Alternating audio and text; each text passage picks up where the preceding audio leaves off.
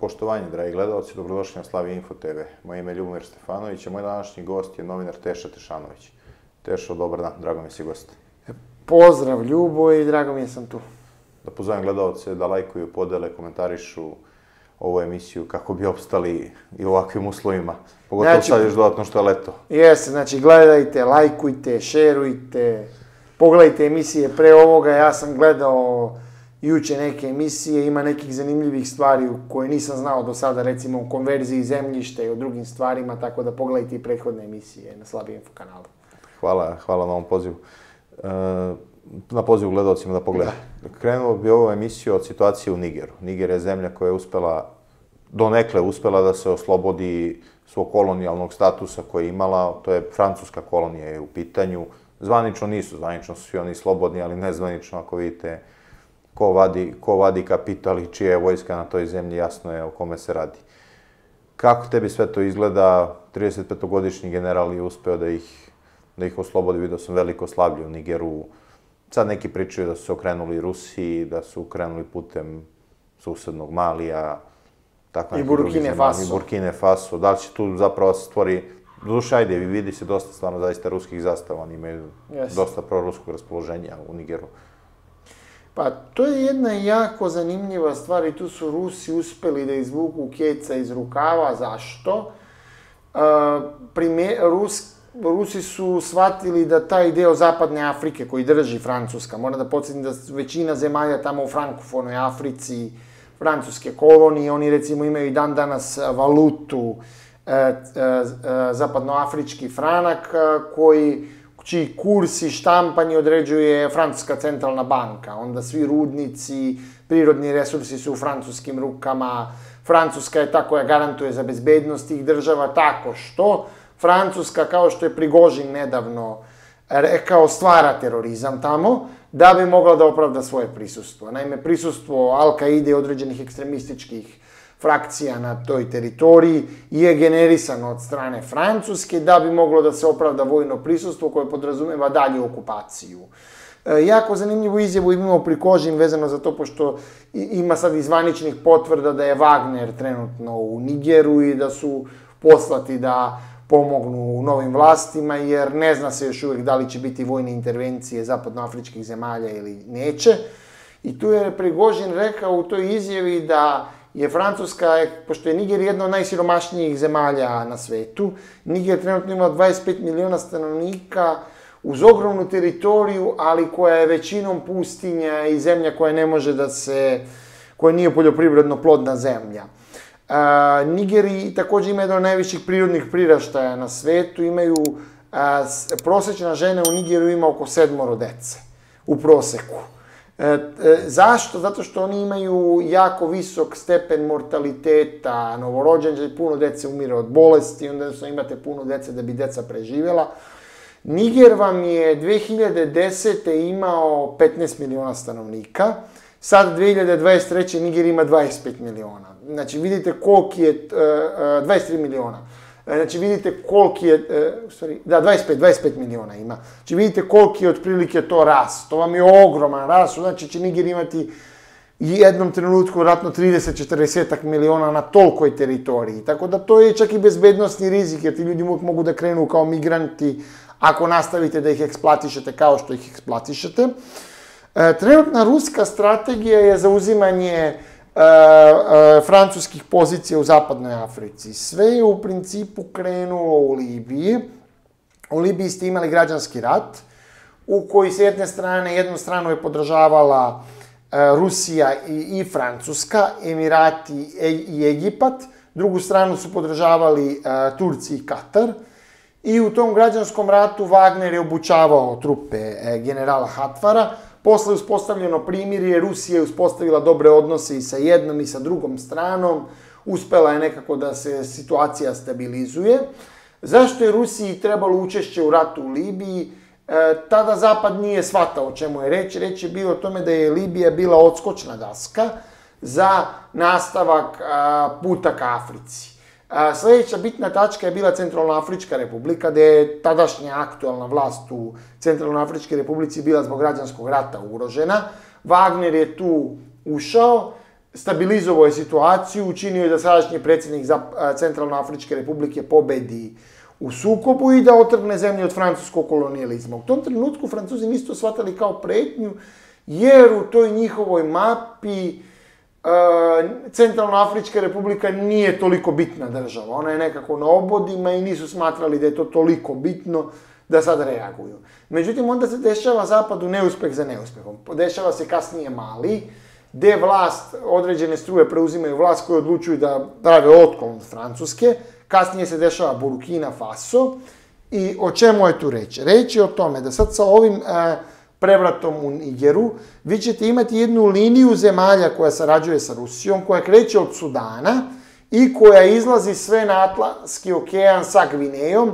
Vlast u Gvineji recimo se ne slaže sa ovim sankcijama u potpunosti, nije ni toliko proruska kao ove, ali nije E, baš vlast koja odgovara zapadu. I da ćete imati taj pojas nekog, no, bukvalno, to je, čemu je tu bila reč? Reč je bila o tome da Zapad tu nije ulagao, Amerikanci tu nisu dovoljno prisutni, nisu ulagali ništa, to je bilo francusko dvorište koje je Francuska uzimala za gotovo, jer je mislila da tu niko ne može da ih ugrozi.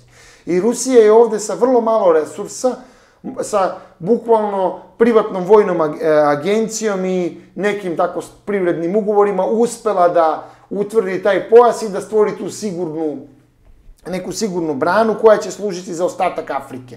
Dalja sledeća možda bude obala Slonovače, možda bude Senegal, trenutno su recimo veliki protesti u Senegalu, predsjednik je na tri dana a, zabranio internet, Zašto? Jer se narod buni, narod koji je isto protiv francuske okupacije koja je tamo prisutna, isto hoće da uradi što je urađeno u Nigeru, oni će to, na, nažalost, verovatno ugušiti, ali postoji potencijal za pobunu.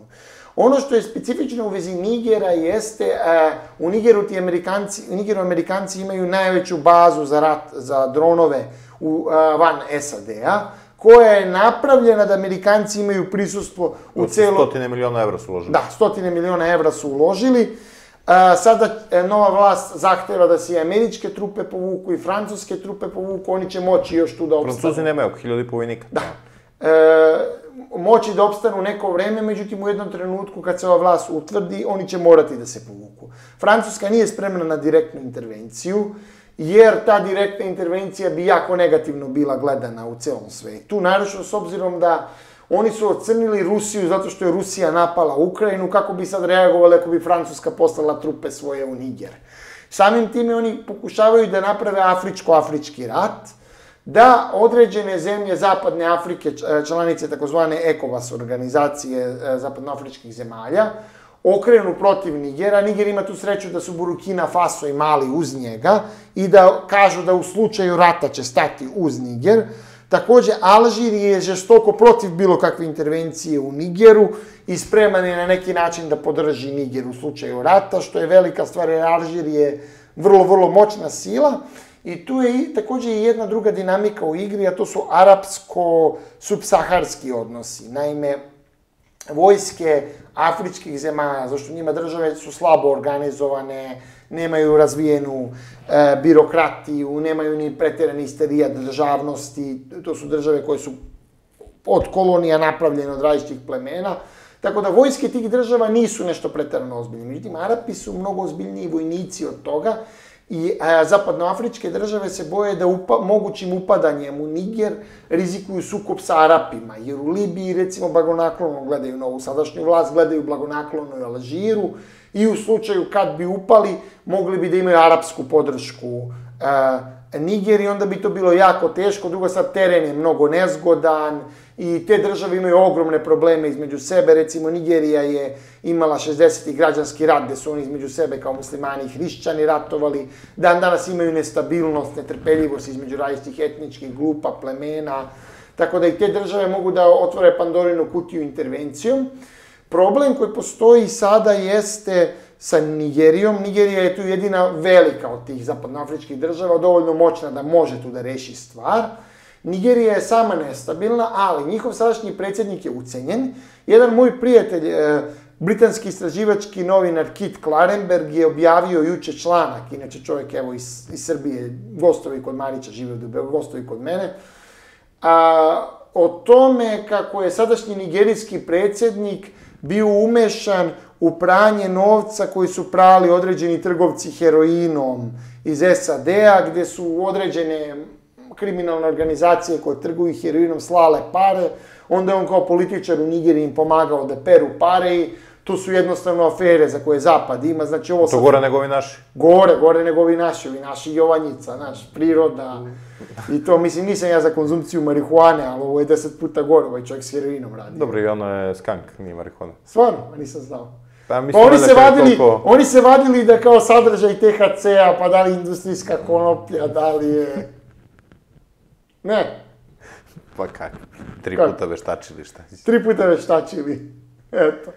Tako da imate tamo ucenjene političare u Nigeriju i onda oni moraju... E, predsjednik Nigere pozvao, Nigerije, pardon, imate u Nigeriji, e, pred, e, predsjednik Nigerije pozvao na intervenciju, međutim, Senat Nigerije mu nije dao odobrenje, već hoće prvo da bude diplomatija, ljudi koji sede u parlamentu shvataju da bi ta intervencija bila jako loša stvar za Nigeriju, da bi pokrenula nestabilnost, tako da po svemu sudeći ova vlast će opstati. I ovo ako se utvrdi, iako Rusi uspeju da održe ovu vlast, pošto je Wagner sad tamo prisutan, ako Wagner uspe u slučaju nekakve pokušaje destabilizacije, intervencije da odbrani Nigere. Sad to će vama delovati smešno, kažete, lupam, e, za ljude koji nisu toliko upućeni, mislim, nisam ni ja toliko upućen, ali iz onoga što sam čuo od ljudi koji su ratovali u Africi, e, delovaće a Wagner da zaustavi zemlju, a, vojsku e, države poput Nigerije, 200 miliona stanovnika. Međutim, šta je A, problem? Wagner je Wagner. Da, e, to je stvar. Te države, njihove vojske su u toliko lošem stanju. Nije to vojska Francuske, vojska Rusije, Ukrajine, SAD-a. To su vojske koje su u katastrofalnom stanju, koje jednostavno nisu spremne da se bore. Vi imate slučajeve da recimo, ne znam, desi se prevrat u obali Slonovače i oni pošalju 2000 legionara Francuzi i oni pobede vojsku, svrgnu predsjednika, promene sve i to je to. To jednostavno u tim afričkim državama, nažalost, funkcioniše tako. Ja bih voleo, a to je sledeća faza koja se sad radi, da te trupe budu istrenirane, da usvoje određene standarde ratovanja. Doduše da to morate da imate ekonomski uspeh, jer ne može neko ko je, me plata 20-30 dolara da ratuje kao neko ko je plaćen par hiljada dolara, ko ima motiv. Nije stvar ni u plati. E, pokazalo se da su vojske siromašnih, mislim siromašnih e, zemalja, ne mislim siromašnih zemalja, nego zemalja gde je niži životni standard, da mogu biti i tekako dobre. Evo, naš sam iranska vojska, Može, turska može, vojska. može. Ali to su opet e, vamo zemlje- Nije, nije, nije stvar u tome, stvar u tome koliko se ulaže u samog, Jest. u samog vojnika. Jest, Jer jest, meni su, mnogi su mi ljudi rekli, kaže, naša vojska je mogla bude odlična kad bi imali bolje, Da, kad bi imali bolje, bolje uslove za rad, da se bave samo vojskom, da se ne bave krečenjem, čišćenjem. Jeste, tu je Vučić dao jednu idiotsku izjavu skoro, koju moram da ga iskritikujem, pa se vratim na Niger. Rekao je kao bio u poseti nekakvoj Pa Suljanske kasar. livadama, kad je bio. Da, kao da je nepočišćeno. Nije posao, to je neko lepo rekao na Twitteru, nije posao vojske da budu gradska čistoća u kasarni, nego da budu vojno spremni. Treba da se... I apsolutna podrška generalu Talijanu. Im, znam, znam zbog čega. Eto. O tome. E, posao je jednostavno treba se zaposle ljudi koji su tu čištači, koji tu kose, koji rade održavanje, nije to posao vojnika uopšte da to radi, jer to je JNA neka koncepcija koju vidite kako se 91. pokazala, ta vojska JNA je bila totalno nesposobna. Zašto? Jer su ih učili takvi idioti, pravili od njih... e, Dobro, ne bi ja baš jedna, jedna pocenjivao, nego jedna je, mm, jedna je imala koncept, imala je dobar, dobar koncept i nije to uopšte nesposobna vojska, to je vojska koja je, Misliš da je bila politički koja je sabotirana? vekovima, politički sabotirana, ma ne, kakvi jedna, da bilo ko da je s polja napao SFRJ od mnogo ozbiljnijih sila gadno bi se, nije tu samo, samo jedna, uopšte cijel taj koncept odbrane u, u tom periodu je bio jako ozbiljan.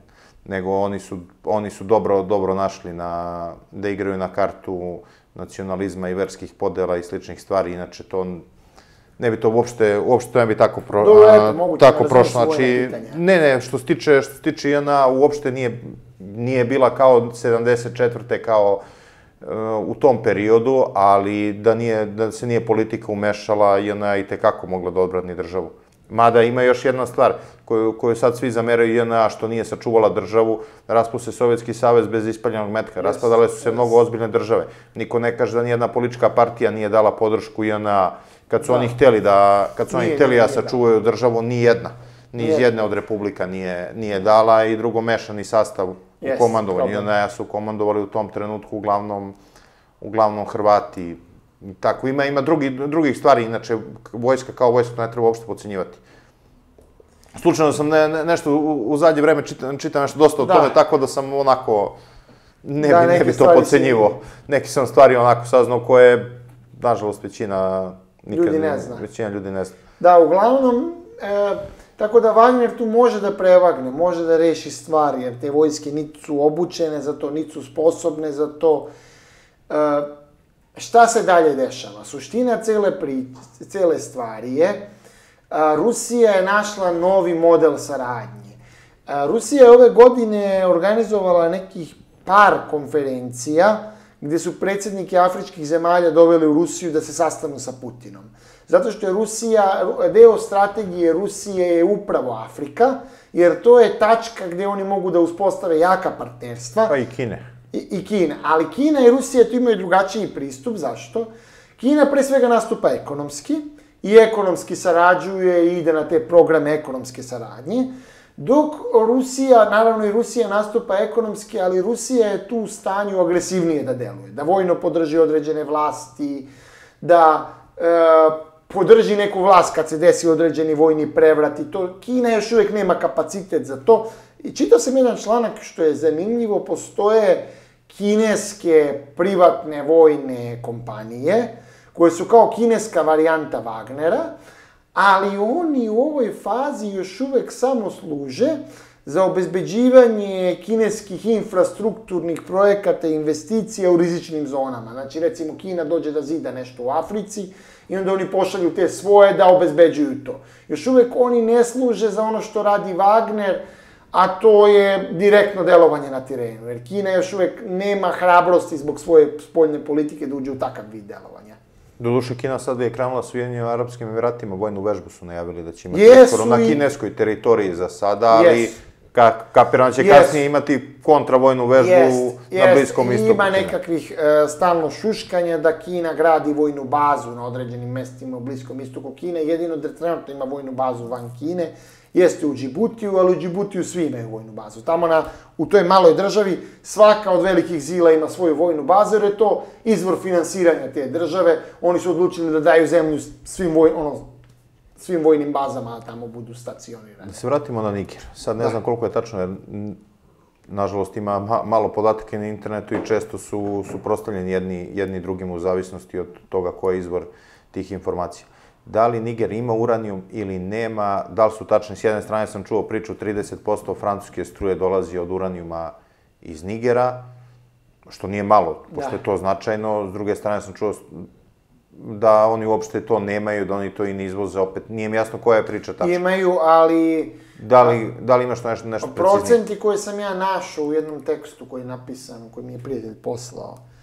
određeni ruski eksperti su napisali negde oko 30% uranijuma za civilnu upotrebu koju koristi Francuska dolazi iz Nigera i 100%... 100% za vojnu. Za vojnu, da. To, to je podatak koji sam ja našao. Šta će biti ako imaju zabrane?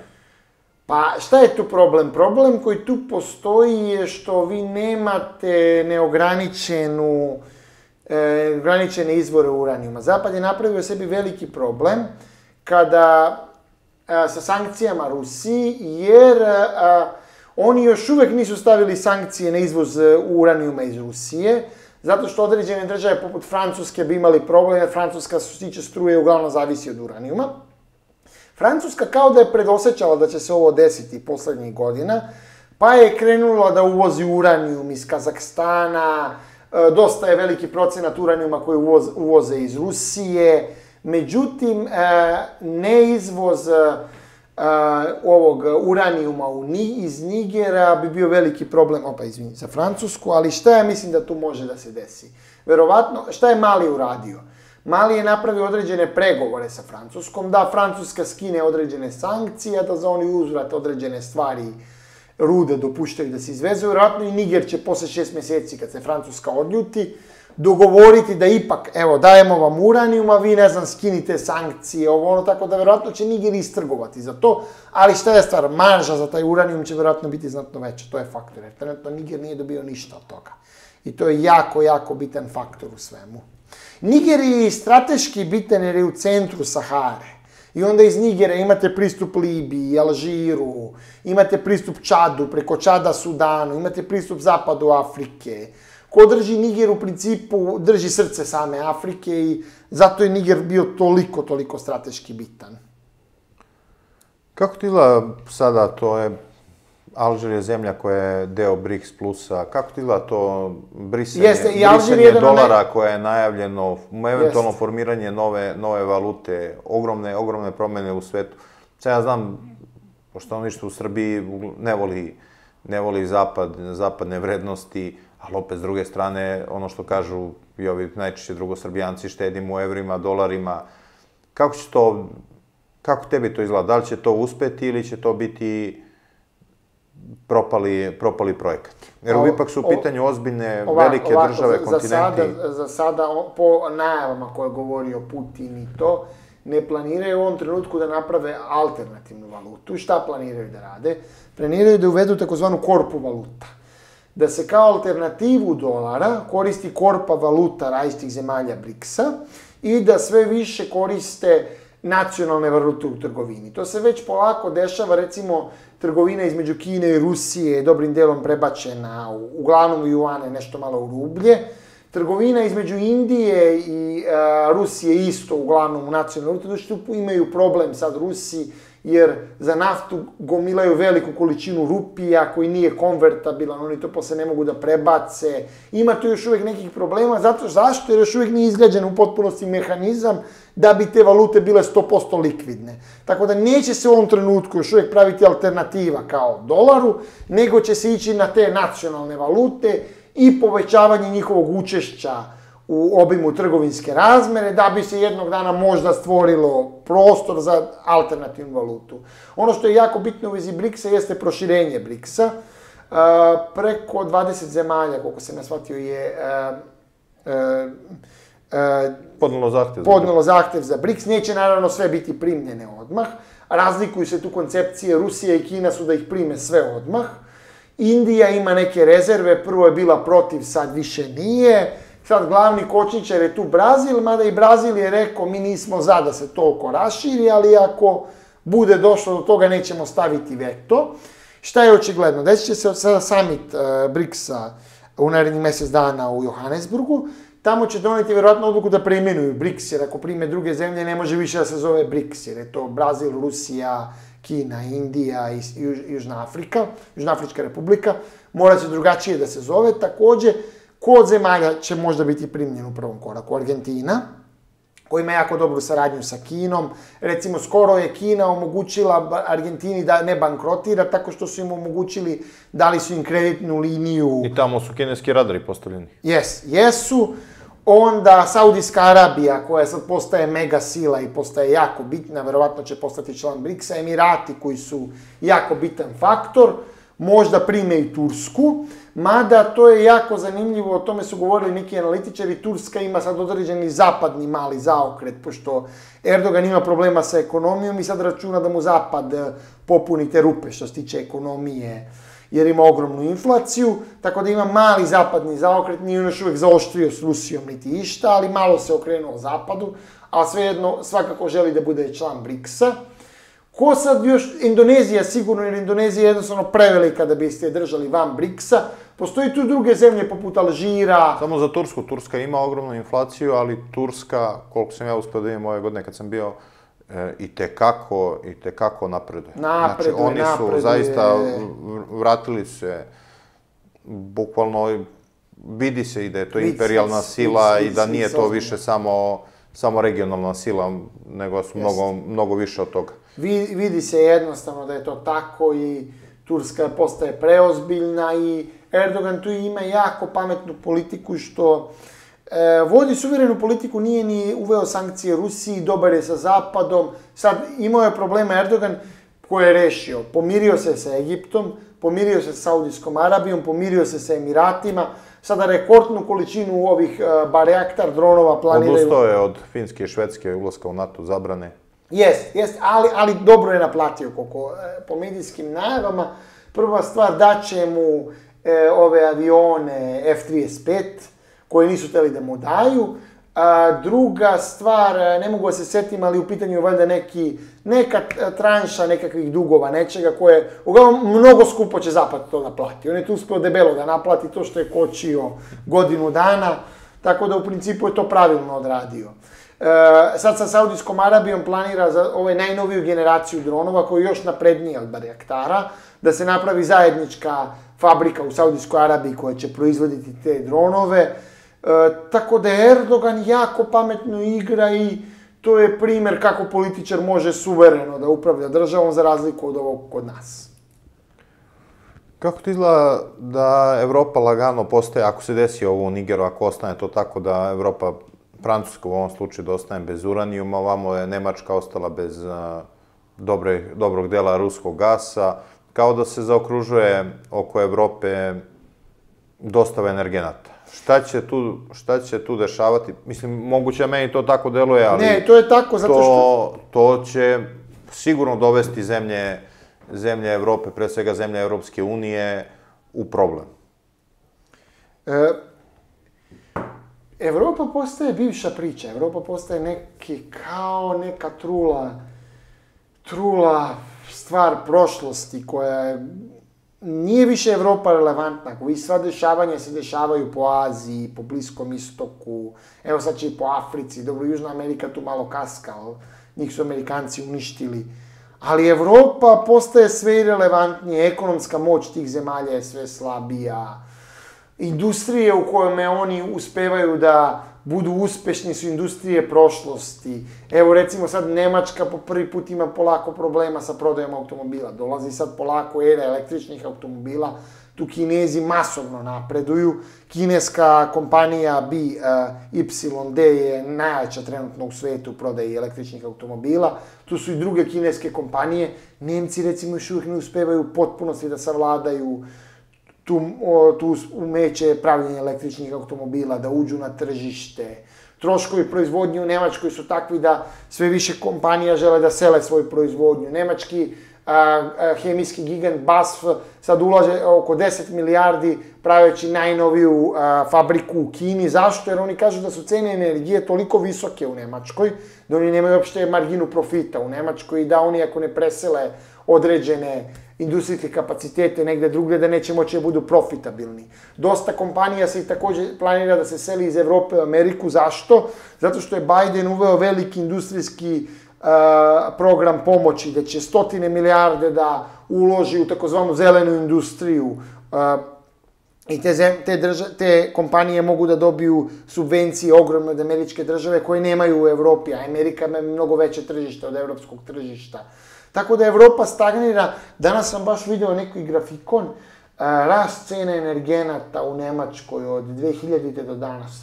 U principu, kad je Gerhard Schröder odručio da se oni odreknu nuklearnih elektrana do tada, ta spirala ide ovako. Njima samo rastu cene energenata. Oni su doneli pogrešnu procenu da će moći pomoću solarne energije i e, vetroparkova da nadoknade sve što će izgubiti gašenjem nuklearnih elektrana a rezultat toga je da bio da su oni samo sve više zavisni od ruskog gasa, a sad kad su ukinuli gas, gas nemaju, uh, obnovljivi izvori energije su previše skupi, nema ih dovoljno, nuklearne elektrane su pogasili, evo, prošle godine su poslednju nuklearnu elektranu pogasili, oni dovode sebe u situaciju da se deindustrializuju. I sve više nemačka štampa govori o deindustrializaciji Nemačke. A kakav to efekat ima? To ima efekat propasti cel, celog niza evropskih zemalja, jer ekonomija Češke, e, Poljske, delimično Mađarske, e, cele centralne Evrope vam zavisi od nemačke ekonomije. Vi bez nemačke ekonomije kao motora, vi nemate tu ekonomiju centralne Evrope, s gašenjem nemačke ekonomije. Nemačka već sad nije konkurentna. Vi možete da vidite najbanalniji primjer, možete možda zvuči banalno, to je tako. 2008. godine, vi ako imate nekog rođaka koji radi kao gastarbajter u Nemačkoj, on kad je 2008. došao sa platom svojim iz Nemačke, on je ovdje bio kralj, to se jede, to se čašćava, to se izlazi, to. Sada, 2023. Gastarbajter dođe iz Nemačke sa svojom platom tamo u Nemačkoj, ovdje u Srbiji, ok, ima on lepu platu za srpske standarde, nije to loša plata. Ali nije baš da može toliko da se čašćava, da se vrti i to, jer komparativno više nije tolika plata. Zašto? Jer plata u Nemačkoj nije rasla zadnjih 15-20 godina, ostala je skoro ista, troškovi života su porasli znatno i to više nisu te plate, nije više taj životni standard. Vrlo jednostavno, vi vidite da Nemačka više nije ono što je nekada bila. Sad, dobro, imaju Evropska unija probleme, Britanija napustila, Mađarska ih Ima, minira. ogromni, ogromni, ogromni tu problemi postoje. Višak, višak demokratije izgleda im se obio glavu. Jeste, i ovi protesti sad koji su bili u Francuskoj pokazuju da oni imaju na nivou same države strukturalne probleme, da oni ne mogu da se dogovore između sebe šta su, ko su, za koje su vrednosti, da imaju jedan deo populacije koji ne priznaje te države, koji smatra da su te države njima nešto oduzele, koji su besni na njih i a oni sve više uvoze te migrantske radne snage i morat će sve više da uvoze. Evo sad je skoro Nemačka pre dva meseca, pre mesec dana, promenila zakonodavstvo da je olakšala još više emigraciju u Nemačku. A šta će im ako je deindustrializacija? Pa zato što fali radne, e, to je smena, dobro, do, duše, deindustrializacija možda ih izvuče. Jer ako se deindustrializuju, manje ima radnih mjesta, samim time manje potrebe za migrantima. Ali sada šta se dešava? Dešava se velika smena generacija. Vi imate činjenicu da ove brojne generacije baby boomera idu u penziju. Mislim, to i kod nas vidite, ono, nema radnika. Na građevini nam sad rade ono, Turci, Šrilančani, ne znam, Arapi. Nemate više radnika. Zašto nema radnika? Ove mlađe generacije, malo ih ima, otišli u penziju, ovi stariji kojih je bilo puno i napravila se rupa tu. Nemačka će tu rupu i sve evropske zemlje da napune tako što će neograničeno da uvoze migrante. Znači, to će u narednih 10-15 godina, ako je sada recimo Francuska puna migranata, bit će još gore u budućnosti. Znači, bit će još punija Francuska, pritom i ni ne toliko, jer oni imaju ok, ne toliko loš, imaju loš prirodni prirašaj, ne toliko loš. Ali u Nemačkoj to je strašno koliko im fali radnih mjesta, međutim imaju sad drugi problem, što će visoko obrazovane radne snage. Gomila tih zemalja više nisu ni konkurentni. Jer ta plata koju oni nude tom programeru iz Indije, on u Americi, u Kanadi, na Bliskom istoku može da dobije veće pare, što bi on sad išao u Nemačku. I onda su oni u velikom problemu i uvozit će ovaj narod koji uvoze sada, a oni nisu nešto preterano produktivni, ti migranti. Kako je ovo kad kažeš oni su u Nemačkoj u velikom problemu, ono mi pričamo odavde iz Srbije, kako onako zvuči ultra... Doduše, doduše, doduše šta je faktor? Faktor je, to je skala problema. U odnosu na naše probleme, Nemačko je super. U odnosu na kako Nemci percipiraju probleme, to je propast. Verovatno, ne znam, za nekog milijardera kad izgubi 100 miliona, to je ogroman problem. Ali nije tako. Zašto? Mogu da vam kažu ljudi koji tamo žive. Ok, zaista se katastrofa živi u Srbiji i ovo što mi ovde živimo nije za poređenje sa ničim. Ali mi smo navikli. Ali mi smo navikli. Ali ljudi koji tamo žive mogu da vam kažu troškovi su veliki, plate u odnosu na troškove više nisu toliko velike i nije više to onaj lagodni zapadni stil života gde vi svake dve, tri godine menjate auto na kredit, da letujete dva puta godišnje, gde dosta ima, mislim, ima tamo ljudi koji stvarno prave velike pare, ali dosta je veliki grč, Uh, veliki su porezi, puno, vas, puno vam oduzima države, rente su otišle u nebesa, otišle su, cene kvadrata su mnogo visoke, tako da svako generalno kad pitate iz dijaspore, osim ako radi neki mnogo, mnogo dobar posao, će da vam žali i da kuka, da kaže da više nije to kao nekada. Uh, hoćete pitam za požare u Grčkoj i poplave u Sloveniji. U pitanju su zemlje članice Evropske unije, zemlje članice NATO-a. Na kraju niti ovi mogu da reše poplave, niti Grčka može da reši požare. Kažem, zemlje koje su već duže, duže godine i u NATO-u i u Evropskoj uniji.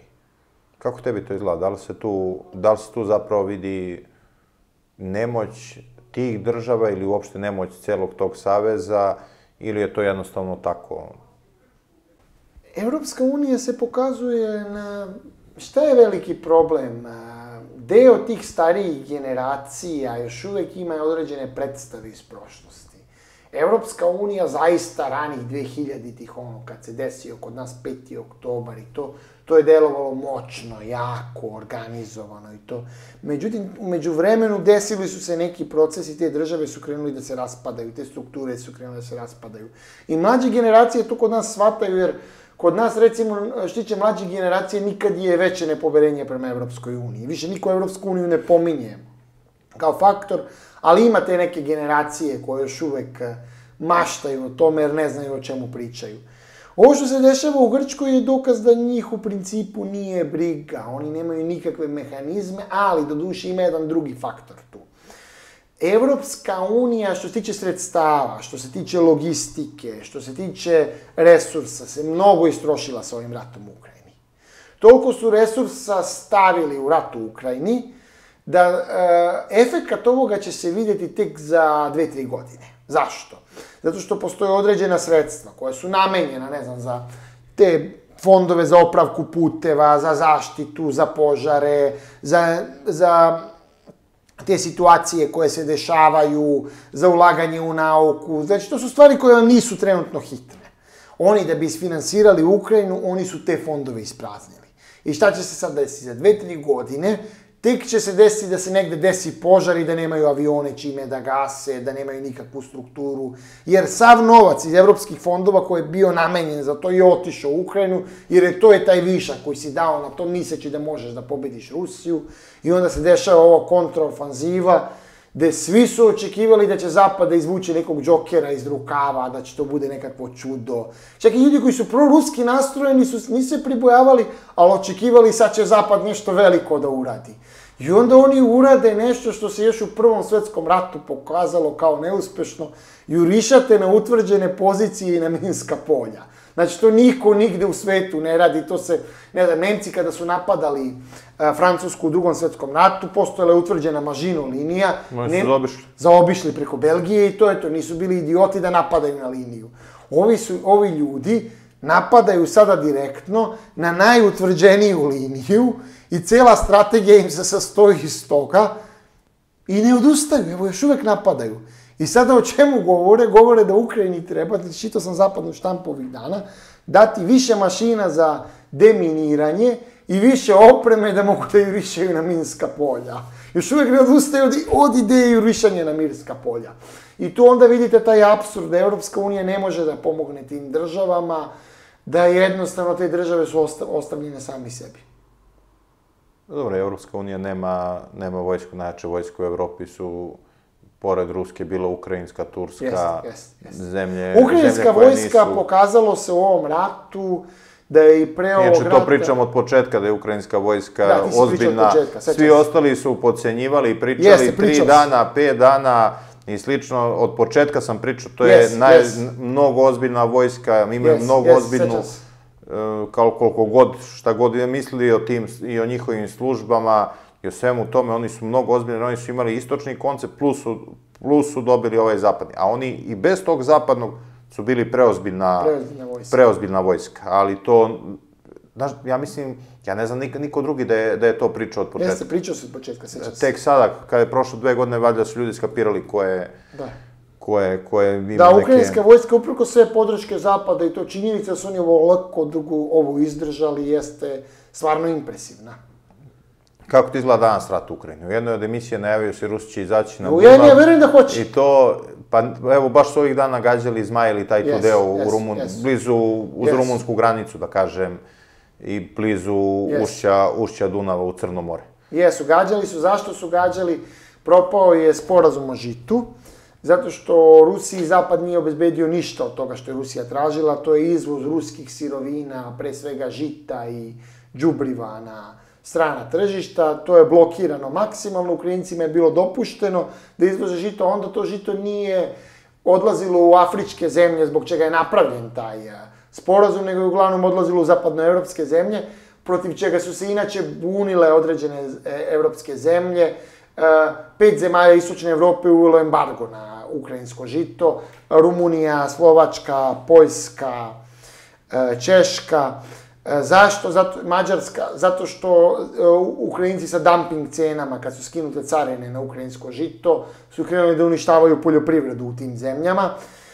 I onda je Rusija uglavnom gađala te luke kod Ismaila i ovu drugu neku luku, zaboravio sam ime te druge luke na Dunavu, zato što su to tačke gde Rusija, Ukrajina može da zaobiđe a, Crven, Crno more i da preko njih izvozi žito. Jer kada se to gađa, samo izvoženje kopnom, a, vozovima je previše skupo i ne postoji kapacitet za to, tako da je Ukrajina samim tim u problemu jer nema kako da izveze žito i onda će morati da se pristane na ponovno sklapanje e, e, sporazuma o žitu, ali pod ruskim uslovima. Ja verujem da Rusi na kraju izlaze na Dunav, ali samo je pitanje vremena. O čemu je reč? Je o tome da će ovaj rat kako funkcionisati. Ovo će trajati. Znači, ovo ne pomeranje na frontu. Trajaće do određene tačke kada jedna ili druga strana propadnu, ja verujem da će to biti Ukrajina, i samo ćete imati situaciju da je u roku od 15 dana druga strana totalno kolapsira i da izađu ovi na Dunav i to je to. Ovo što se dešava sada sa ovom kontrofanzivom je mnogo dobro. E, po ruskoj proceni e, Ukrajinci su imali oko 40.000 gubitka u ljudstvu a, od početka kontrofanzive. Uzmimo da Rusi lažu da su preuveličali, nek bude pola od toga, nek bude 20.000 da su imali gubitka. Opet, to je ogromna cifra za tri meseca, vidi imate 20.000 gubitaka, to je dugoročno totalno neodrživo, a da ne pominjem to da ja verujem da je i ruska cifra bliža realnosti, da je to zaista 40.000. Ogromni su gubici tehnike, po proceni zapadnih medija, znači ne ruskih medija, Ukrajina je izgubila oko 30% tehnike koje je Zapad dao Ukrajini u samo ovoj kontraofanzivi, a to je ta tehnika koju je dao Ukrajini i verovatno sva tehnika koju Ukrajina ima, jer znamo da je ona izvorna tehnika koju Ukrajina imala, uglavnom e, poprilično uništena tokom e, e, trajanja ovog rata. Tako da, s obzirom na gubitke tehnike i to ovo je neodrživo, veliki je pritisak na Ukrajinu od strane Zapada da ostvare nekakav uspeh i mislim da na rusku sreću da će ovo ludačko jurišanje na utvrđena polja se nastaviti i da će oni još u toku ovog leta, sad u toku avgusta i septembra, pokušati još e, nastavak kontraofanzive, a kad to ne bude uspelo, posle određenog trošenja ukrajinskih snaga, to će stvoriti Rusima mogućnost da i oni napreduju. Mi već vidimo u, Har, u, u Harkovskoj oblasti kod Kremne određena ruska napredovanja. Šta više, ruska napredovanja kod Kremne po teritoriji su veća nego sva napredovanja Ukrajinaca koja, koja su imali tokom ove kontrofanzive gde je Ukrajina imala tolike gubitke, a Rusija je ta napredovanje kod Harkova imala vrlo lako, zato što je to relativno slabije branjen e, sektor fronta i, vr, e, i bez gubitaka i vrlo brzo. Tako da tako nekako će funkcionisati otprilike nastavak ovog rata. Ono što mi vidimo jeste dalju eskalaciju što se tiče napada na podubini teritorije. Imali ste napade na Krim, imali ste napade na e, tanker i određen ruski koji prenosi naftu. Kao kontra, o, kao odgovor imate ovih dana e, veli, veliku količinu ruskih napada po dubini teritorije Ukrajine. Ono što je dobro za Ruse jeste da mi po tim napadima e, kako teku trenutno napadi e, vazdušni, e, napadi raketama po dubini ukrajinske teritorije, vidimo da je ukrajinska protivvazdušna odbrana u ovom trenutku desetkovana do tačke da maltene ne postoji. A to može između ostalog da bude prekretnica u ratu, jer je veliki problem do sad bio što je Ukrajina imala mnogo jak PVO sistem. Međutim, sad polako slabi taj PVO sistem Rusije. Rusija još uvek ne koristi avijaciju u ovom ratu.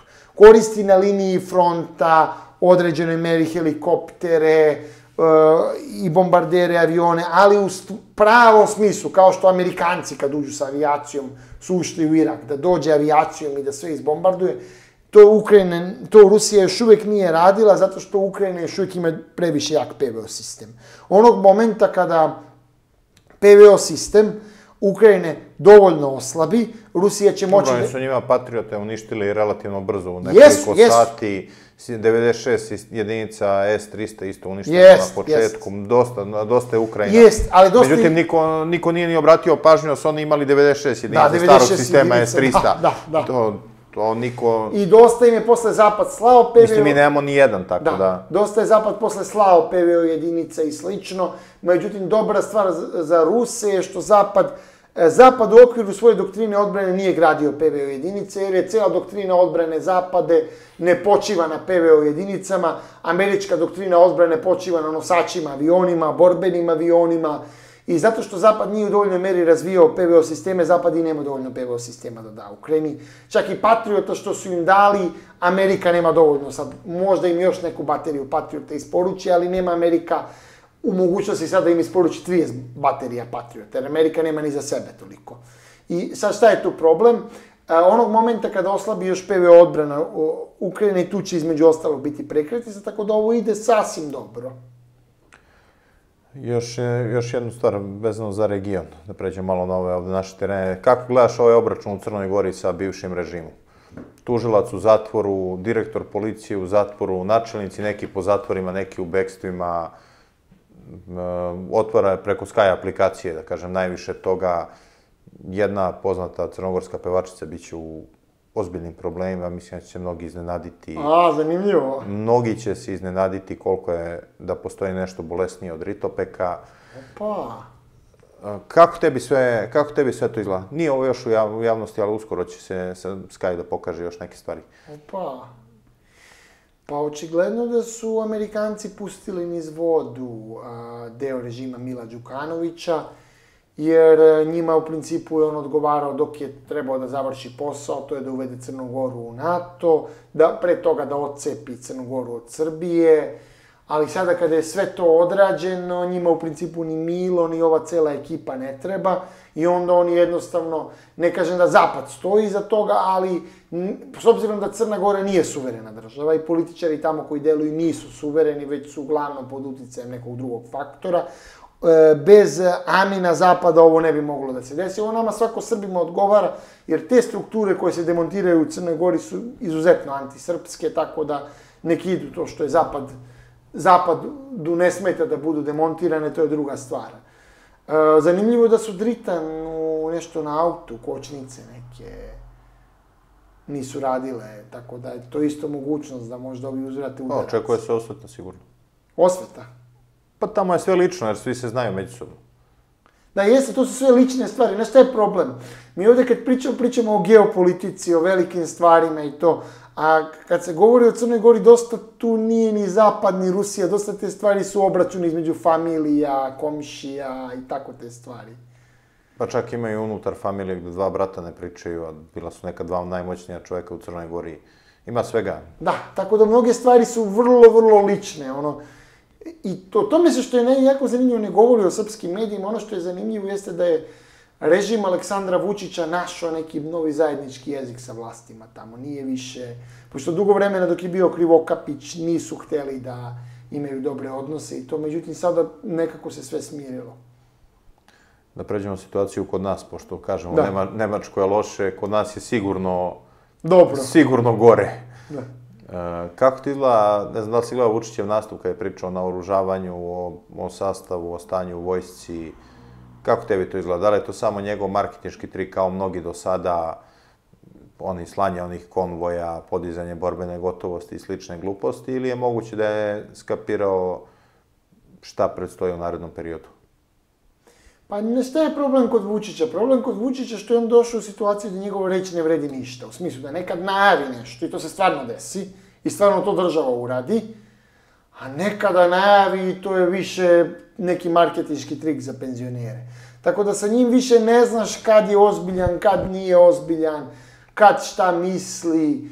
O stanju vojsci ne mogu da govorim, neki kažu da se vojska stvarno zadnjih 15 godina, na, 10 godina, ono, ajde, kod kad je on na vlasti, i naoružala se, poboljšalo stanje, drugi kažu da je ljudi odlaze iz vojske, da je katastrofalna situacija, verovatno i jedno i drugo tačno, ja ne znam jer nisam stručnjak za ta konkretna vojna pitanja. Ono što znam jeste da mi svakako tu vojsku nećemo upotrebljavati. Da je to više kao nek, neki vid uh, loženja javnosti. Poprilično sigurno u to da nećemo. Ne znam, ne znam, nikad se ne zna šta donosi sutra. E sad, kako ti izgleda ovo ostalo? Sankcije Vulinu, direktoru Bije? Sankcije Vulinu Mislim, jeste skandal što je direktor. Zašto? Zato što, evo, evo, iskreno ću ti reći. Ja sam slušao priče određenih gostiju koji su kod mene gostovali, koji su ponavljali konkretno i Brkić koji u zatvoru je ponavljao. Određenim frakcijama u SAD-u smeta Vulin, smeta ne znam ti ti iz vlasti, oni su ucenjeni, imaju dokumenta protiv njih, oni su... Ja sam naravno slušao te priče jer ja verujem tim ljudima i verujem u kredibilitet tih ljudi. Ali imao sam uvek zrno sumnje, ono, ma daj, gde će Vulin da smeta zapadu, ono, kad ono stvarno uveli sankcije Vulinu. E sad, šta je najgora stvar? Ja mislim da... E, Čekaj, njemu je to opet, on je 90-ih imao sankcije. Jeste, on izgleda ono povratnik i to. Sad, znaš kako, e, Vulin je meni toliko gadan, da ne može ni sankcije Amerike da mi načine da bude simpatičan. I nemojte da podržavate Vuline jako je dobio sankcije Amerike. Nemojte sad kažete Vulin je car, ono nije. Nije car i ne može da bude car, ali šta je tu uh, problem veliki? Ja ne znam zašto su njemu zaveli sankcije. Vučić tvrdi da je zbog Rusa, Oni... Tvrde pre svega zbog kriminala. Da, oni, oni kažu da je zbog kriminala, Amerikanci. Oni ne kažu da je zbog Rusa. Ne znam, oni pas da li bi dalje lajao na njega. Da, da, da. Oni tvrde da je kriminala. E sad, kakve ima veze Vulin sa kriminalom? pa imaju ga na slikama na Jovanjici. Da.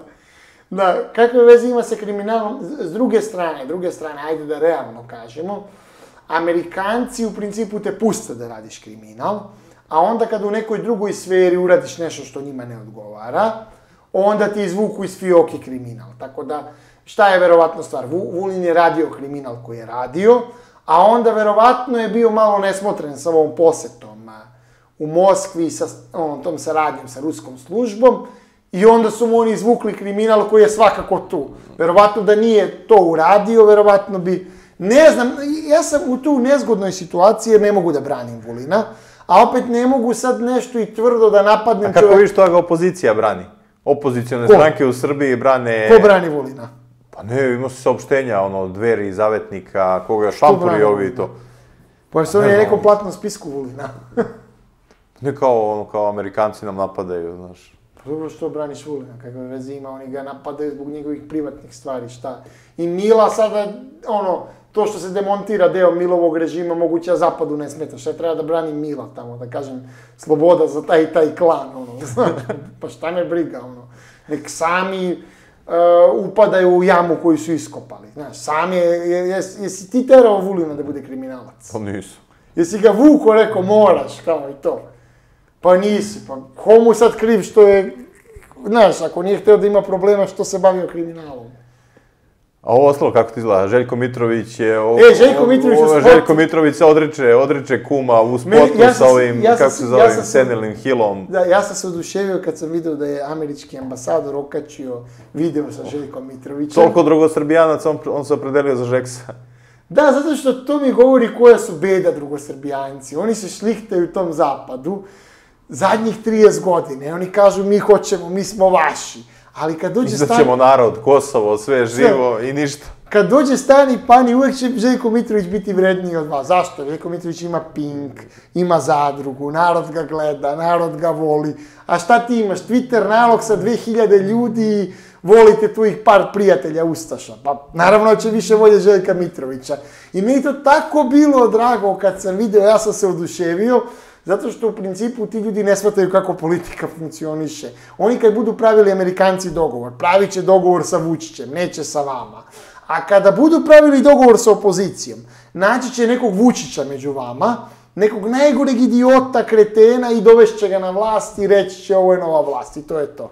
A kako ti izgleda sada kadrovi, kadrovi, da kažem, ti prozapadni ministar, Rade Basta? Dobro, da dobio otkaz nešto, nije sad ministar. Pa dobro, nije, bivši, bivši, bivši ministar, nije, ajde, da čisto... Rade Basta, onda, onda je bila priča Zorana Mihajlović je prozapadno, Vučić je bez problema sklonio Uh, ali onda ne, ovo sada Darko Obradović, Željko Mitrović. Da, ali, ali mi ne... Da li, to, da li to pokazuje njihovu zaj... pravu snagu ili je to neka Jest. caka? E, da li je moguće da je ambasador malo popustio u godinama čovek? O čemu se to radi? Zato što nije mi jasno da oni ipak, u pitanju je svetska sila, šta god, kakvi god mi imali stav o njoj, da ne može neke druge ozbiljnije ljude da ne, nađe. E, pa, za, za Zoranu Mihajlović mi nikad nismo imali na čisto. Da li ona smenjena što je prozapadna, ili možda Vučiću nije odgovaralo što je previše jaka, što nema afere za nju, što... Možda neku proviziju nije dao. Pa da, mi ne znamo da iz tih razloga ili ovih, jer Vučić ima i svoje prozapadne i proistočne ljude, ali očigledno da ne voli da ima jake ljude pored sebe, u smislu da ljudi koji mogu previše da uspostave moć, da previše budu jaki, zato je spuštao Nebojšu Stefanovića, zato je mnogima pokretao afere, očigledno da je procenio da ona nije dovoljno ukaljana, da nije imala dovoljno afera, da nije dovoljno ucenjena, da je neposlušna, da ne, ne daje dovoljno procenat, da možda bi mogla u jednom trenutku da napravi neku Ja svoju mislim da je stranu. procenat ipak ključan. Procenat. Znaš, ne verujem da je to zato što je prozapadno, ono, nije Vučiću ideologija tu nešto toliko bitna, ono, ljudi pogrešno shvataju Vučića, on je pre svega pragmatičan čovjek. Meni je bilo zanimljivo kada on pusti ove kvazi opoziciju na, na Zoranu Mihajlović da grize Da. i onda oni ko kerovi krenu, krenu na nju i onda svi su jednom danu utišaju. Da. Nema više to, znamo svi na koje stranke odnosi ove Jest, profesionalne patriote, pampure, što ja kažem. I onda je bilo zanimljivo, rekao, 100% ga je Zorana bila u poseti, odnela, odnela veći Odnela- deo. odnela veći to deo. čim su se svi utišali u jednom danu. Jest. Ja sam ubeđen da na taj način njih, ono, oni klepe, onda Jest, on njih jest, uh, jest. pusti kerove na njih i onda ali oni igra donesu. moći je tu bitna. Zašto je, recimo, to sam milion puta pričao ja svi analiz, zašto je Ana Brnabić premijer? Zato što je Ana Brnabić osoba koju nikad niko neće zavoleti u Srbiji, nikad neće moći da napravi stranku i nikad jedan glas neće moći da bude. Nju ne vole ni birači SNS-a. Da imaš nekog, ne znam, Vučevića, Selakovića i slično kao premijera, on bi posle pet godina davanja izjava, posete televizije ima određenu popularnost među biračkom telom SNS-a i samim tim bi mogao da ugrozi Vučića. Ana Brnabić to ne može. Znači, on ne voli previše jake sagu, uh, saradnike da mu ne bi oteli stranku. I onda on uvek u ključnim tačkama ume da ih saseće, da stavi nekog novog i to je poenta. Što se tiče tog pitanja vezanog za zapad, ja ne znam, kad vi vidite te ljude koji gostuju, to je ispod svakog nivoa. Znači, ja često ne znam, ok, ja, ja jesam deo te proistočne, proruske strane, ja često budem nezadovoljan, a ovo mi ne valjamo to, ali onda kad vidim kakvi su ljudi sa suprotne strane, pa najgore, ovi, najgore osobe koje gostuju po ovim kanalima, koji su proruski, su, ne znam, doktori nauka za ove koji, ono, koji su prozapadni analitičari. I izgleda pod jedan da Zapad nema zaista bolje kadrove, a pod dva da je Zapad toliko postao idiotski da njih jednostavno ni ne zanima. Oni su se zatvorili u sebe, toliko su autistični, da oni ni ne shvataju da ti ljudi ne valjaju ni za što, nego računaju to su neki ljudi, popularni su, gostuju po emisijama i to je to. Čim zastupaju zapadnu ideju, neko će ih voleti, ceniti, ono, šta će nama bo- bolji kadrovi. Kako ti djeluje ovo da grafiti kad se vojska na Kosovo vrati, masovno se rade, onda su bile litije koje su isto bile nikad masovnije. Da li je to neki otpor mlađih generacija prema zapadnim vrednostima? A javlja se neka... Tu neka... ima dosta, ima tu dosta umešanosti režima u sve to, ali, ima, ima, ali, ali ono što je autentično tu, ali opet nije režim taj koji može da dovede toliko desetina e, hiljada to. mladih ljudi. To često drugosrbijanci ne kapiraju i a, imaju tu floskulu Vučić kontroliše desnicu, Vučić šalje desničare i to oni ne razumeju, da. Često i tačno. Da, ne, ne, dobro, da, ali Vučić kontroliše lidere iz određene stranke, organizacije i to. Ali vi kad odete na neki protest, onih 100, 200, 300, 500, 1000, 10.000 ljudi koji se skupi, njih uopšte nije doveo Vučić. Oni su tu po nekoj ideologiji i njih ne može ni opozicija, ni vlast da iskontroliše, jer jednostavno oni su ljudi ideološki fanatični ima u- to u šta veruju. Problem tih ljudi u koji ja naravno isto spadam jeste što oni nažalost nemaju stranke i organizacije, jer koja god stranka i organizacija se pojavila, bila bi ili kupljena od strane Vučića ili je jednostavno previše neozbiljna, neorganizovana da ne može da uradi bilo šta ili ili Za koju misliš da nije kupljena? Pa ne mogu da pričam, zato što, šta je problem? Problem je što ako bi sad pričao ko nije kupljen, a ja stvarno ne znam ko nije kupljen, previše bi se zamerio ljudima jer znam sve gomilu ljudi lično i onda neću sada da nikoga hvalim i to i napadam, ali činjenica je, ja mislim da smo mi došli u tačku i ovo ću reći kao da su svi kupljeni pomalo na neki način. I da je to samo pitanje odnosa i da nažalost mi bilo kakav otpor i opoziciju nemamo, ima neke iskrene namere određenih pojedinaca i to. A, ali šta tu meni budi nadu, taj narod, kad vi vidite na litiju, taj narod je zaista protiv izdaje, protiv Vučića, ali taj narod nema ko da povede. I svako ko dođe da povede tu narod, kao što je rekao Milan Milenković, kod tebe pojavi se neko da ga lupi kovertom u glavu i bude šta bude i to je to. Sad kad si mi podsjetio te proteste, šta se događa sa Bobičekom? U pitanju je čovjek koji je bio optužen za ubistvo Vučića, puška, velika afera tog dana, to je bilo zasretenje. Da li imaš nešto više informacije o tome? Niko više ga ne pominje, kao da su ga svi odrekli. Ne znam, ali evo mogu da kažem sloboda za Bobičeka. On je tu prodavao neku lovačku pušku, nešto, i ne znam što nemamo više informacije o njemu. Trebalo bi, ja da sam, ne znam, ja, ja bi pravio, graf, mislim, ne ja, ja ne znam Bobičeka, ali pravio bi grafite, neke slobode. Mi da treba da ga podrže ljudi koji su juče bili s njim. Pa što da ne, što, što je u zatvoru čovjek, mislim. Nije, jer, jer dokaz, jer bio na kraju dokaz da je planirao atentat, nije.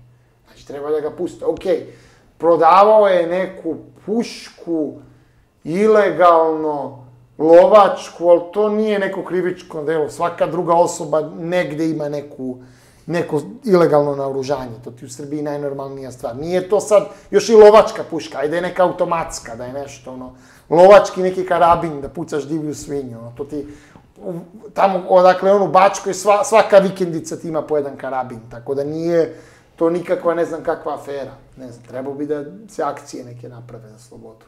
Ovo što se događa sa Brkićem, kako vidiš to? Sloboda za Brkića. Brkić je naš Nelson Mandela, on je zarobljen. Svako ko neće javno da podrži Brkića je sramota, izdajnik. Tog čoveka ubijaju dok Srbija čuti. I moram da kažem svaka čast ovom građanskom MVO sektoru, mnogi poput Dojčinovića, Slobe Georgijeva su mi iznenadili tako što su podržali Brkića, nisam to očekivao. Neki drugi čute, to je sramota. Slobodan Stupar, Jelena Radojičić. Jest, jest, jest, jest. Sve što sam vidio, zaista vidim više puta. Svaka čast ljudima, jer čovek je, kao prvo, to što je on tu rekao u snimku može da bude sporno, ali to nije prvi put da je to Brkić. A koji deo spora? Ne, ne, ne, kažem, On može. je rekao, znači, ja kretena rekao... idiota, niko nema dokaza da je mislio na Vučića. Da, da, niko nema dokaza, ali nekome to može da bude sporno, ali Brkić je imao slične izjave zadnjih desetak godina. I, I te izjave su javne, i stoje na YouTube-u. Nikad ga nisu hapsili zbog toga. Što su ga sad hapsili? Mene je tu Vučić iznenadio. Ja sam mislio da on nikad... Ja sam znao da je Brkić njemu smetnja, kako? Tako što svi vidimo da pominje Brkića na konferenciji za štampu. Ne bi ga pominjao da mu toliko ne smeta. Ali nisam mislio ikad da će on da napadne tako Brkića. Da mislim da ga uhapsi. I onda me iznenadilo, čudilo me Vučića da ga uhapsio. Čudilo me i kad je držao Dejana Zlatanovića nešto koliko, dva meseca, mesec koliko. Jer mi to ne liči na Vučića. Izgleda se nešto Vučić menja, valjda da je prolupao nešto. Pa dobro, toliko atentata moguće da su uticali na njega. Kako ti Moguće. izgledaju sada svi ovi atentatori? Slaviša Kokeza, firme radi i dalje, Nebojša Stefanović, novine pišu o tome, ima novu ljubav, tako nešto. Znači, ono, kao, kao da nikad ništa nije bilo. Svi su na slobodi. Meni je omiljen... Dijana Hrkalović. Ko je ti omiljeni od tih atentatora? Onaj što je gostao kod tebe, onaj, kako se zove s tetovažem na licu? Goran Pantelić? Nać, nać, car. Car. On mi je najjači od svih. A dobro, nije on teo da ga ubije. Ne, on je teo da vodi ljubav sa njim. Sam je rekao. Da. On čovjek imao tendencije da vodi ljubav sa njim i to je to.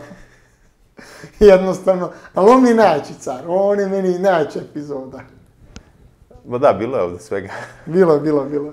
A ovi ostali atentatori? Pa ne znam, gde su, to treba napraviti specijal, ono, gde su i šta rade, kao za one propale Gde su danas i šta rade atentatori na Vučića? Da, gde je Nebojša Stefanović, gde je Dijana Hrkalović? Dijana je tu, vidio sam u prodavnici. Eto. Ovo ostalo, protesti opozicije, Protesti da li, to, da li je to po tebi propalo, da li to ima propalo nade? od starta loše, osmišljeno. Kao prvo, zahtevi su jako loše osmišljeni. Zahtevi su trebali da budu konkretni i trebali su da budu usmereni na nešto što zaista režim boli i gde guranjem tog zahteva zaista možeš da oštetiš režim. Znači, ne moram da ih ponavljam, to su ove afere sve koje ti pominješ. Znači, ove afere, pogledajte Slavija Info, to su u principu ono što su trebali da budu zahtevi. Umesto toga, Oni su izašli sa nekim nedefinisanim zahtevima, stop nasilju, ukinimo realitije i to. koji su ok, ja se slažem, niko nije za reality i to, ali to nisu zahtevi koje možeš, s kojim možda izađeš u javnost, jer od jedan, to su zahtjevi koji direktno ne napadaju Vučića, jer evo Vučić možda kaže nema realitija naredne dve godine i šta sad? U govorima ga i ne spominju. Pa da, to druga stvar, reality je krenuo Đilas i onda mogu uvek kao kontra da napadne jer je tu bila kuća velikog brata, sve to. Treća stvar koja postoji, ove ostale, napadate Pink, s druge strane, Željko Mitrović u spotu uh, američkog ambasadora, samim time je poslata poruka ne možete ukinuti Pink nikada. Trebali su konkretno da ga napadnu za kriminal, za određene konkretne afere i tu bi Vučić imao problem, jer ne može Vučić da ukine svoj sobstveni kriminal. A ovo kad ga napadate za Pink, za Željka Mitrovića, ma šta ja loše mislio o tome, ja sam za ukidanje realitija ali vi ste našli na pogrešnoj temi da ga napadate, a onda je ekipa koja je krenula da se ističe tu na protestima, ekipa koju narod nikad neće da sluša, jer narod te zelene, e, žute, demokratsku stranku, to mnogo mrzi narod. Trebali ste naći neke neutralne organizatore, da se makar sakrijete između njih kao opozicija i da idete sa konkretnim zahtevima. A sa ovim zahtevima mi pravite jednu šetnju koja je relevantna vama na Twitteru da pričate da ste šetali, ali Vučića se tiče rejtinga ništa ne ugrožava. Šta njega ugrožava po tebi sve? E, prva stvar koja bi stvarno ugrozila Vučića, a to je ekonomska situacija. Moram da kažem i tu se neće složiti mnogi gledalci ove emisije. Ekonomska situacija u Srbiji je loša.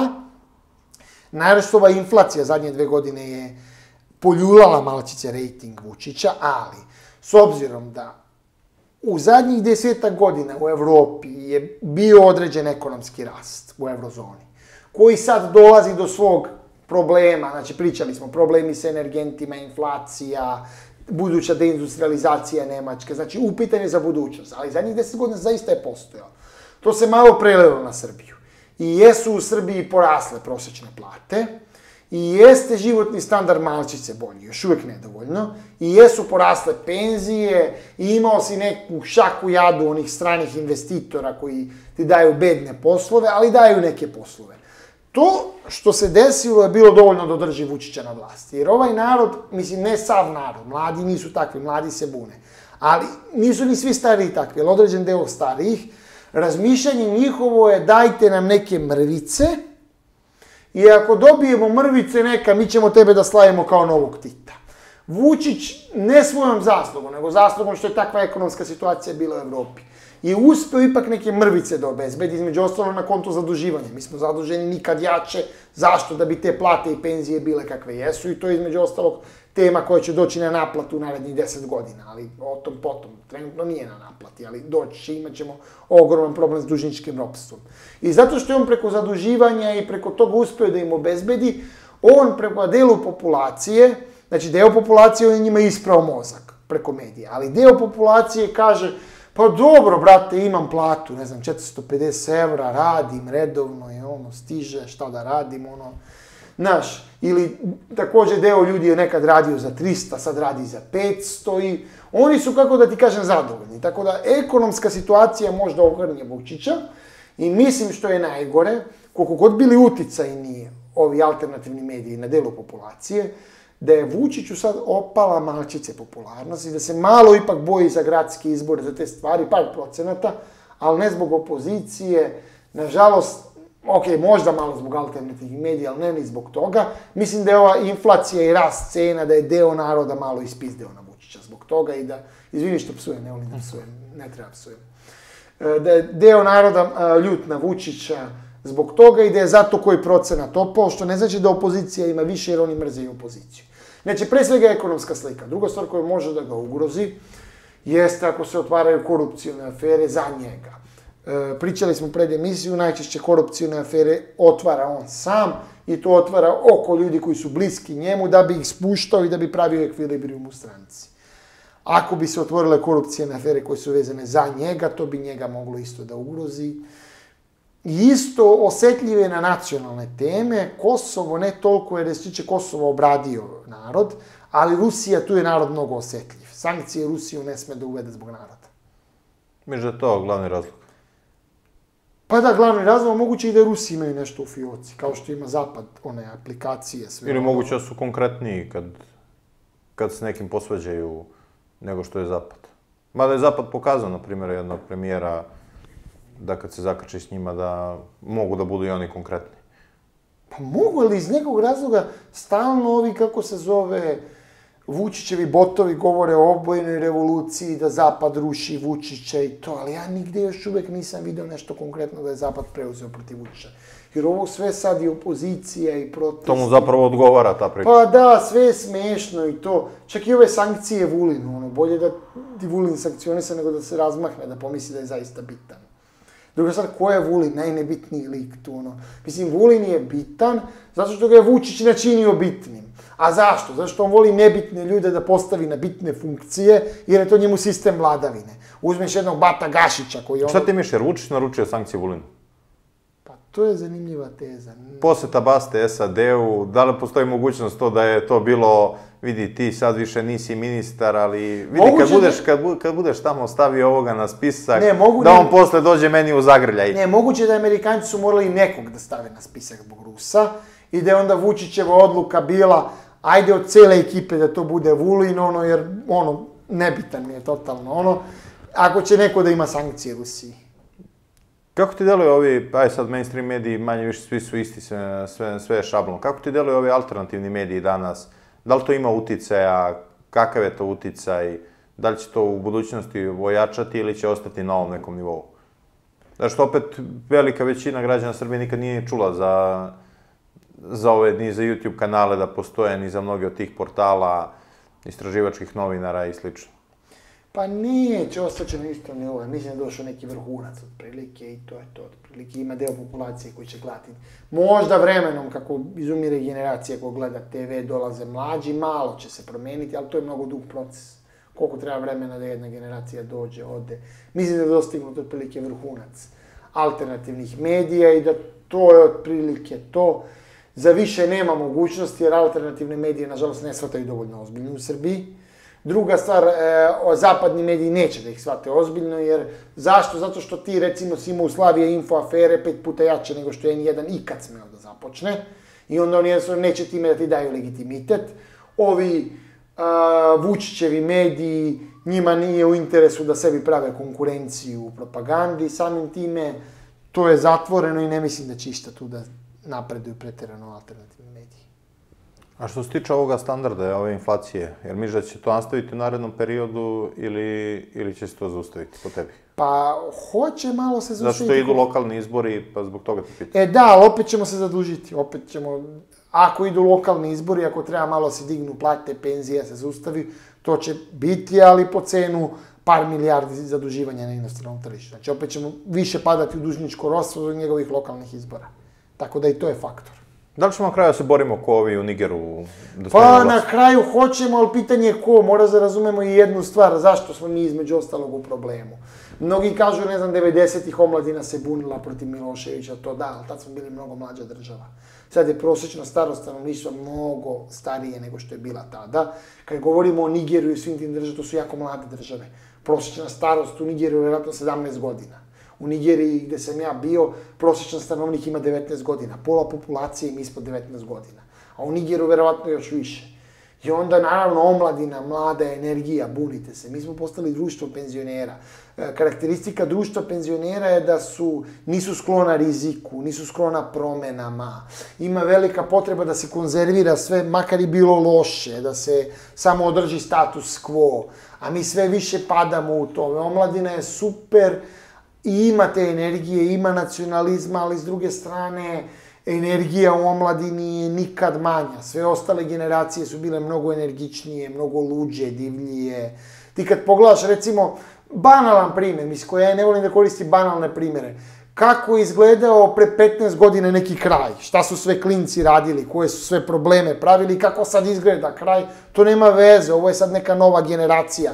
Što je i bolje, ono, jer nekada su umeli da i sebi naprave probleme. Mislim, ima i, nažalost, još uvek omladine koje sebi pravi probleme, ali ako si primetio i ako ste svi primetili, promenila se demografija. Jednostavno, demografija dece, klinaca, nije više sve manje klinaca koji bi otišli tamo na protest, tukli se sa policijom i to je jednostavno drugačija su vremena, drugačiji su rezoni. Video sam sliku, ali nisam proveravao da li je tačan podatak da smo jedna zemlja sa pozitivnim prirodnim priraštajem bili prošle godine.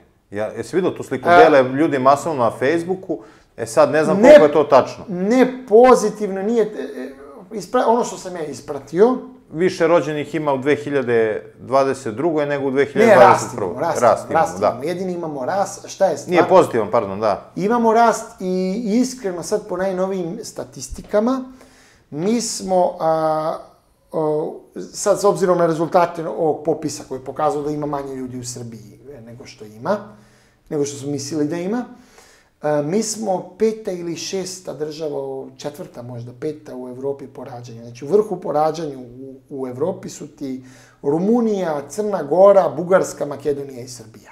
Crna Gora ima znatno viši natalitet od nas. Oni su ti valjda čak će biti sad vjerojatno prvi u Evropi ove godine.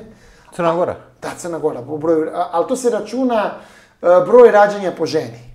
To ti je stopa fertiliteta, koliko imaš dece po ženi. Pod broje dece po ženi Crna Gora će biti a, prva u Evropi. Zašto? Zato što se između ostalog desio da je natalitet e, se e, strohpalio, baš je propao u, a, u zadnjih par godina u zapadnoj Evropi. I neke zemlje koje se čak držale korektno do sad, poput Švedske, Češke, u zadnjih par godina su baš propale. I onda smo se mi tu eto istakli kao neko ko sad ima ipak uprkos tome što ne znači da ne nestajemo, samo nestajemo sporije nego oni, ali koja je razlika između njih, nas i njih? E, naš glavni problem je trenutno iseljavanje. Jako puno ljudi se iseljava. Čak je e, broj ljudi koji se iseljava opao poslednjih godina. Najviše je bilo e, po zvaničnim statistikama 2019. 18.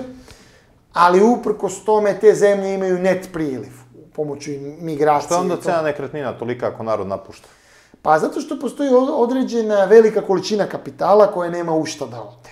A vi imate veliku inflaciju. I onda kada se uh, alocira kapital, kada se peru pare, kada odlaze pare od neke privredne aktivnosti negdje, vi nemate nigde sigurno da ih ulažete. I s obzirom da mi ne volimo akcije i to, jer smatramo to nesigurno, svi privatno, taj sav kapital odlazi u nekretnine.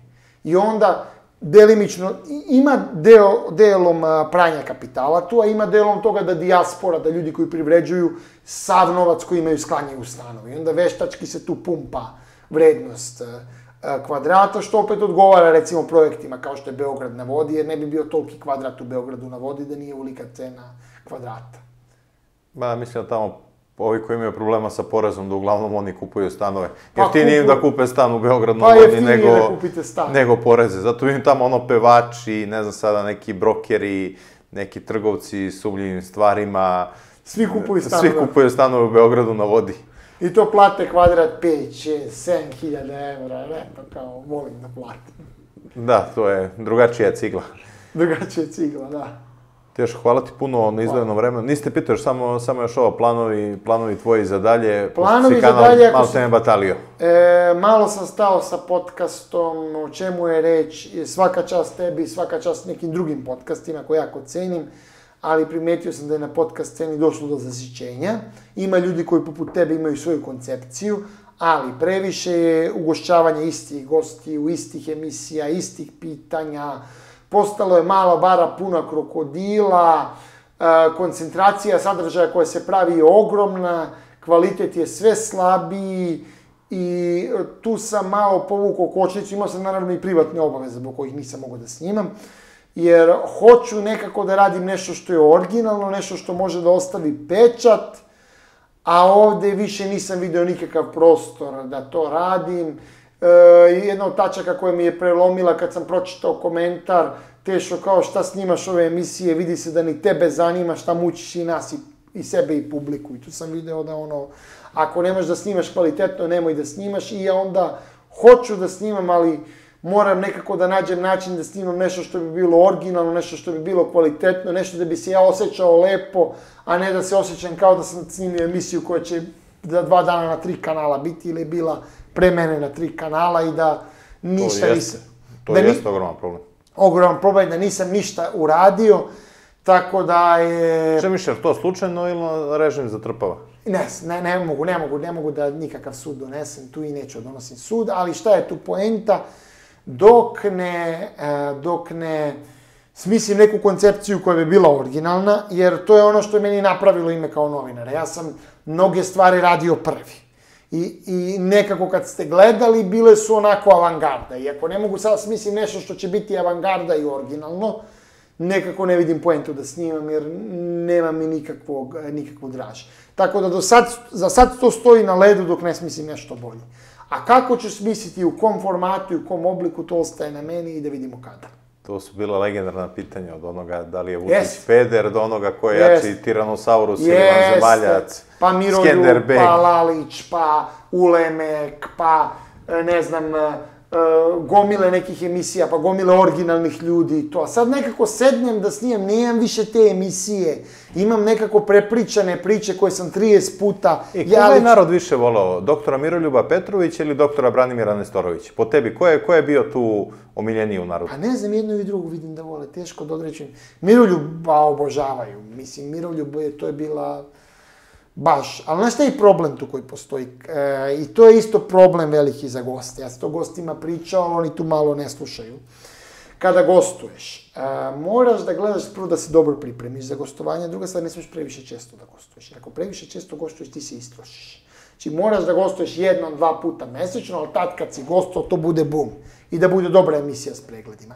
To gosti ne shvate u dobroj meri i to, to vam se ne desi odmah, nego posle godinu, dve, tri, vidite da ste ono opali s pregledima, baš ste propali. Zašto? Jer e, niste, niste se trudili da nove priče naučite, niste radili na sebi, gostovali ste nenormalno, svaki dan ste gostovali, sebe ste istrošili i više niko neće da vas sluša. I onda između ostalog i tu i ta stvar sa podcastima propala. Ne znam, ima i tu drugih problema koji su tehničke prirode vezane za sam plasman tog sadržaja, da se ne žalim na platformu i to, to nećemo da radimo, ali kad se sve to sabralo, vidim da tu više nema prostora za mene i da li će biti da, ali u kom obliku vidjet ćemo. Nadam se da ću nešto smisliti i da ću iznenaditi sve.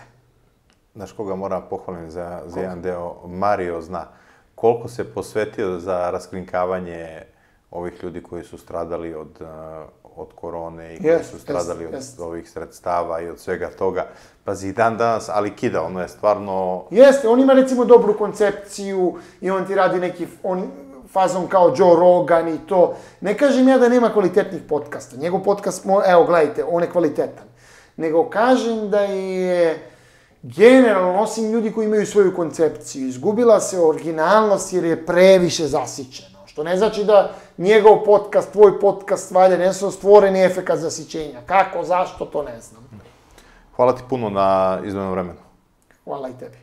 Poštovani gledalcima, današnji gost bio je Teša Tešanović. Do sledećeg viđenja, svako dobro.